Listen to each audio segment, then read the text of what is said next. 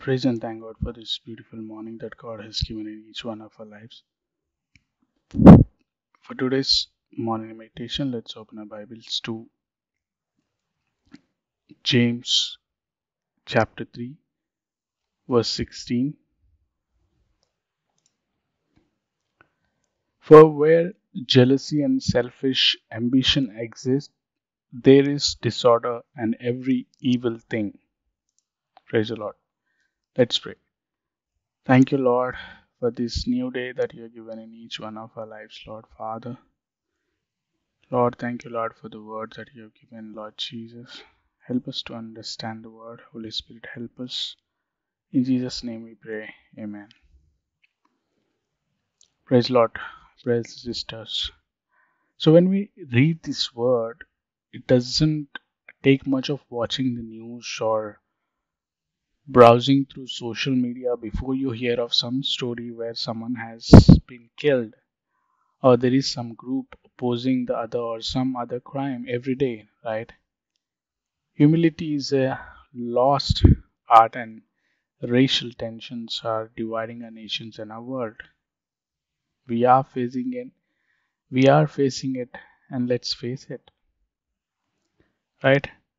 Our world has become a despot of disorder and evil of every kind. When we read James 3:16, it explains why this occurs every single day.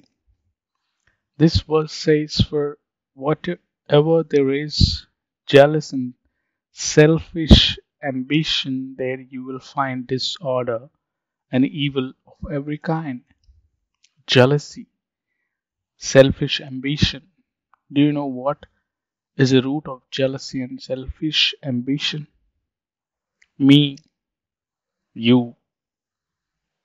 And the root problem of me and you is sin. Praise the Lord. There are certain character traits that are earthly, fleshly, sensual, and demonic, and there are those that are heavenly, spiritual, holy, and godly.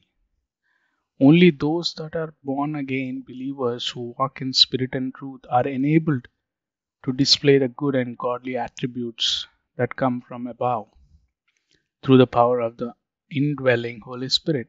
Amen. Both unsaved sinners and carnal Christians who carry out the works of the flesh can display the ungodly characteristics associated with envy, jealousy, selfish ambition, and the pride of life which manifest in disorder and every evil thing. Throughout his writings, we find James comparing and contrasting the good with the evil, the holy with the sanatic, the wise with the foolish, the sinner with the saint, and the stable man with the one who is tossed about by every wind of doctrine. Hallelujah.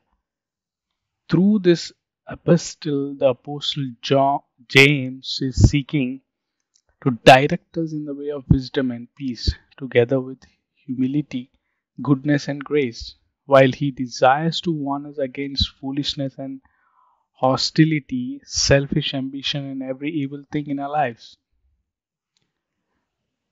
The ministry of a child of God can be ruined when he seeks earthly wisdom from the well of fallen humanity. Right? The wisdom of this world is foolishness with God and comes to naught. The beliefs, the theories of fallen men, and the flawed principles of this world system are not according to Christ.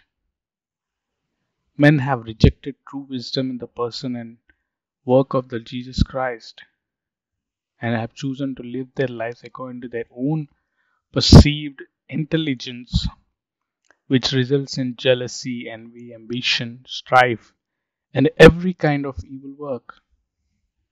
Today morning, my friends, may we seek after the wisdom that comes from God, which is a pure wisdom in thought, word, and deed. Submit yourselves in the presence of God. May we strive after the wisdom from above, which is first pure, then peaceful, gentle, and reasonable, full of mercy and good fruits, unwearying and without hypocrisy. Amen. With that thought, let's submit ourselves in the presence of God and get that wisdom from God, not the wisdom of this world. When God is leading us in our lives, wherever we go, wherever we live, we'll be graceful, we'll be in His hand, and He's leading us. That will make a big difference in each one of our lives. Say, God, please take me in your hand. Give me the heavenly wisdom, pure heart, peaceable life, gentle obedience, full of mercy, Lord. And God will take care of that. We have to submit in His hands. With that, let's pray. Heavenly Father, we praise and thank you, Lord, for this morning. Jesus, thank you that Jesus is the power of God and the wisdom of God, and that in Him is no confusion or shifting shadows, my Lord. We know that the enemy likes to bind us up in confusing webs of lies, fear, and doubt. May we resist the devil and keep our eyes focused on Jesus alone, Lord. Please help each one of us I submit each and every brother and sister into your mighty hands, Lord. Bless them, guide them, lead them forward this whole day, Lord. Let your name be glorified. In Jesus' precious holy name we pray. Amen. May God bless you, my brothers and sisters. Our Jesus is coming very soon. Maranatha.